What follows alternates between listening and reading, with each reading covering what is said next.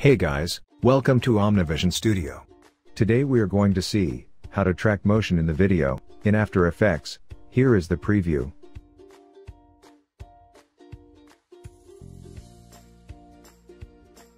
So let's get started. Drag the video into new composition. Let's first see the preview. Here we are going to track this moving cruise ship. Now we will apply track motion to the cruise ship from here. If you don't see this on your After Effects then go to Windows and select Tracker. Now hit the track motion button in the tracking menu. Here you can see the track point. Now select track point and position it over the cruise ship.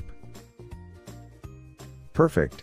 Now let's analyze it, we need to analyze it in forward directions, let's do it, select analyze forward now. Wait till it analyze the media file.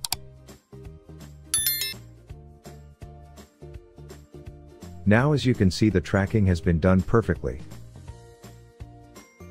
Now let's create a null object. For tracker, we need to set a targets, and the target will be created null object.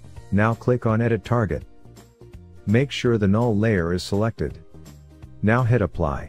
Here this will ask to apply, for X and Y dimension, then hit OK. Now you can see a null object, is moving forward with the cruise ship. Here we will apply callouts title to this cruise ship. Now let's add callouts title, this callout you can download, in the description below. Let's add callout title to the timeline. Now press S for scale, and P for position. Now let's position it over the cruise ship perfectly. You can also increase the scale value for title.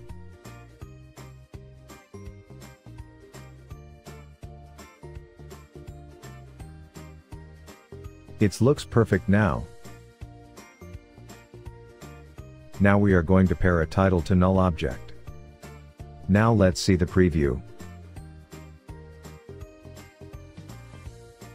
Thanks for watching this tutorial, please like, share and subscribe for more upcoming tutorials, till then good luck.